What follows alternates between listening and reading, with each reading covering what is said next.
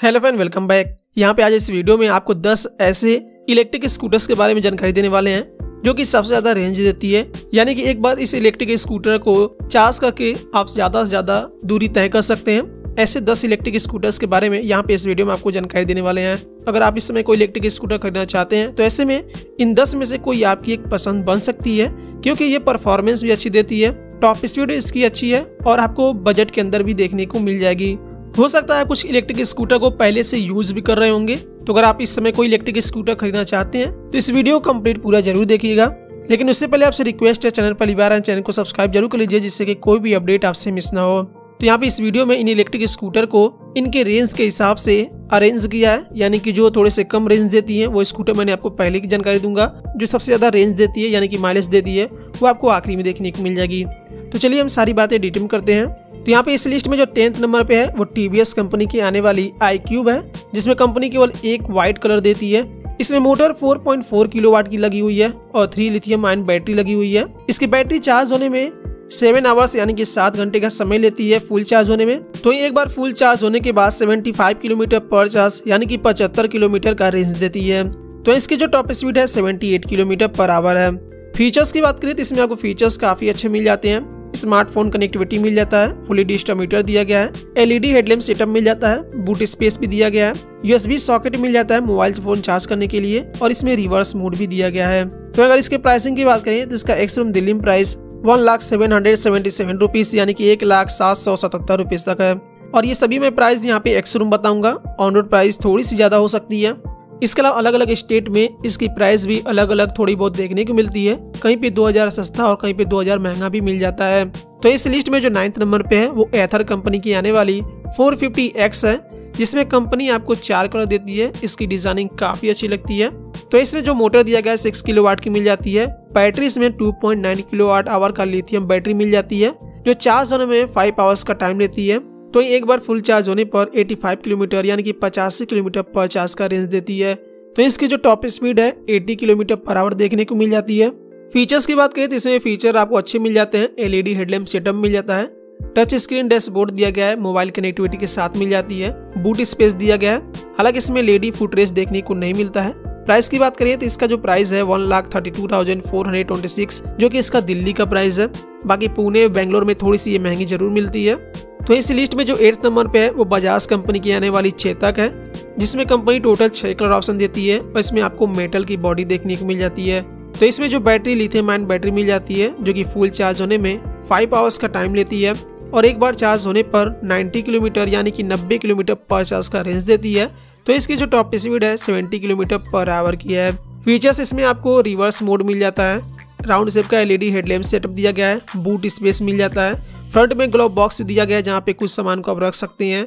Round shape का digital meter मिल जाता है जो कि काफ़ी प्रीमियम है। राइडिंग मोड्स दिया गया है। तो अगर इसके प्राइसिंग की बात करें तो इसमें दो वेरिएंट मिल जाता है। तो इसके अर्बन वेरिएंट का action price one lakh rupees तक है। तो इसके प्रीमियम वेरिएंट का action price one lakh fifteen thousand rupees यानी कि एक लाख पंद्रह हज़ार रुपए तक है। तो इस लिस्ट में जो सेवेंथ नंबर पे है, वो प्योर ईवी की आने वाली ई प्लूटो सेवन जी है। जिसमें आपको सिक्स कलर ऑप्शन मिल जाते हैं। मोटर इसमें 1.5 किलोवाट की और 2.2 किलोवाट की मिल जाती है। और इसमें 2.5 किलोवाट आवर की पोर्टेबल बैटरी दी गई है। यानी कि इसके बैटरी को निकाल कर आप घर पे भी चार्ज कर सकते हैं।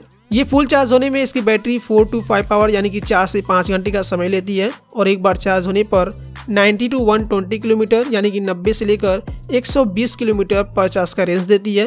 तो इसकी जो टॉप स्पीड है 60 किलोमीटर पर आवर की है। इसके फीचर्स की बात करें तो इसमें तीन राइडिंग मोड्स मिल जाते हैं। एलसीडी डिस्प्ले दिया गया है एंटी थेफ्ट अलार्म मिल जाता है एलईडी हेडलैम्प सेटअप दिया गया है। तो इसके प्राइसिंग की बात करें तो इसका एक्स रूम दिल्ली का price eighty three thousand nine hundred ninety nine यानी कि तिरासी हज़ार नौ सौ निन्यानवे रुपए तक है। तो इस लिस्ट में जो सिक्स नंबर पे है, वो बेनलिंग और है, जिसमें कंपनी तीन कलर ऑप्शन देती है। इसमें मोटर 2.5 किलोवाट की लगी हुई है और battery 72 volt lithium ion portable battery मिल जाती है, जिसकी बैटरी चार्ज होने में फोर आवर्स का टाइम लेती है और एक बार चार्ज होने पर 120 किलोमीटर पर चार्ज का रेंज भी देती है। तो इसकी जो टॉप स्पीड है 60 किलोमीटर पर आवर की है। फीचर्स की बात करें तो फोर राइडिंग मोड्स दिए गए हैं। यूएसबी सॉकेट मिल जाता है, डिस्क ब्रेक लगा हुआ है, डिजिटल स्पीडोमीटर मिल जाता है, स्मार्ट की दिया गया है और पार्किंग असिस्ट भी यहाँ पे देखने को मिल जाती है। प्राइस की बात करें तो इसका एक्सरूम दिल्ली का price seventy three thousand rupees, यानी कि तिहत्तर हज़ार रुपये तक है।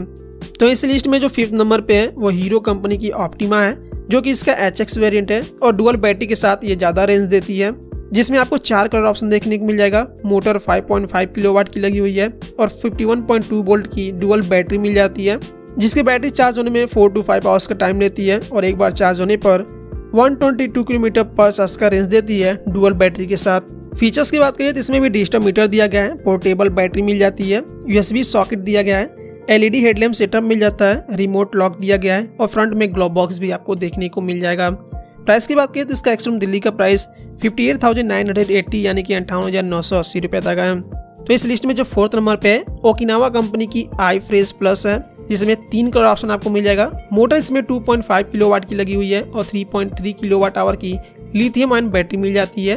तो इसकी बैटरी फुल चार्ज होने में फाइव आवर्स यानी कि पाँच घंटे का समय लेती है। तो एक बार चार्ज होने पर 139 किलोमीटर यानी कि एक सौ उनतालीस किलोमीटर पर चार्ज का रेंज देती है। तो इसकी जो टॉप स्पीड है 58 किलोमीटर पर आवर की है। फीचर्स की बात करें तो इसमें आपको एस सॉकेट मिल जाएगा एलईडी हेडलैम्प सेटअप दिया गया है। ई ए मिल जाता है सेफ्टी के तौर पे। डिजिटल मीटर दिया गया है जिसमें मोबाइल कनेक्टिविटी मिल जाती है। और फ्रंट में ग्लोब बॉक्स भी दिया गया है। प्राइस की बात करें तो इसका एक्सरूम दिल्ली का प्राइस 99,708 यानी कि निन्यानवे हज़ार सात सौ आठ तक है। तो इस लिस्ट में थर्ड नंबर पे हीरो इलेक्ट्रिक कंपनी की आने वाली N Y X H X variant है, जिसमें आपको दो कलर ऑप्शन देखने को मिल जाएगा। इसमें मोटर 600 वाट की बी एल डी सी दिया गया है और इसमें 51.2 वोल्ट की लिथियम आयन बैटरी मिल जाती है और इसके डुअल बैटरी के साथ आपको ज़्यादा रेंज मिलेगा। इसकी बैटरी फुल चार्ज होने में फोर टू फाइव आवर्स का टाइम लेती है और एक बार चार्ज होने पर 165 किलोमीटर पर चार्ज का रेंज देती है डुअल बैटरी के साथ। तो इसकी टॉप स्पीड 42 किलोमीटर पर आवर की है। फीचर्स की बात करें तो इसमें आपको डिजिटल मीटर मिल जाएगा यूएसबी सॉकेट मिल जाएगा एलईडी हेडलैम्प सेटअप दिया गया है। फ्रंट में बॉटल होल्डर मिल जाता है और ग्लोव बॉक्स भी दिया गया है। पोर्टेबल बैटरी दी गई है और स्प्लिट फोल्डेबल सीट भी यहाँ पे देखने को मिल जाती है। प्राइस की बात करें तो इसका एक्सरूम दिल्ली का प्राइस 62,954 यानी कि बासठ हज़ार नौ सौ चौवन रुपए तक है। तो इस लिस्ट में जो सेकेंड नंबर पे है वो अभी कुछ टाइम पहले ही कंपनी ने लॉन्च किया है और सबसे ज़्यादा रेंज देने वाली स्कूटर में से एक स्कूटर ये भी स्कूटर है। तो यहाँ पे जो सेकेंड नंबर पे है, वो ओला कंपनी की S1 प्रो है, जिसमें कंपनी 10 कलर ऑप्शन देती है। मोटर इसमें 5.5 किलोवाट का आईपीएम दिया गया है और 3.97 किलोवाट की फिक्स्ड बैटरी मिल जाती है, यानी कि इसकी बैटरी को निकाला नहीं जा सकता है, जिसकी बैटरी फुल चार्ज होने में सिक्स आवर्स का टाइम लेती है और एक बार चार्ज होने पर 181 किलोमीटर पर चार्ज का रेंज देती है। तो इसकी जो टॉप स्पीड है 115 के तक है। फीचर्स की बात करें तो इस स्कूटर में फीचर्स आपको काफ़ी ज़्यादा मिल जाते हैं। बाकी अन्य इलेक्ट्रिक स्कूटर से सबसे ज़्यादा फीचर्स इस स्कूटर में दिए गए हैं।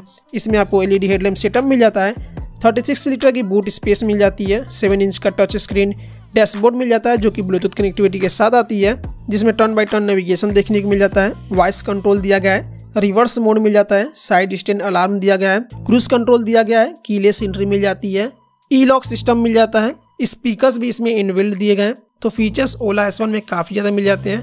प्राइस की बात करिए तो ओला एस का जो प्राइस है ninety nine thousand nine hundred ninety nine यानी कि निन्यानवे हज़ार नौ सौ निन्यानवे रुपये तक है। तो ये एस वन प्रो का जो एक्शन प्राइस है one lakh twenty nine thousand nine hundred ninety nine यानी कि एक लाख उनतीस हज़ार नौ सौ निन्यानवे रुपये तक है। तो इस लिस्ट में जो पहले नंबर पे है, वो भी ओला के लॉन्च के बाद इसको लॉन्च किया गया है, और ये ओला को टक्कर दे रही है। यानी कि सिंपल कंपनी की सिंपल वन है।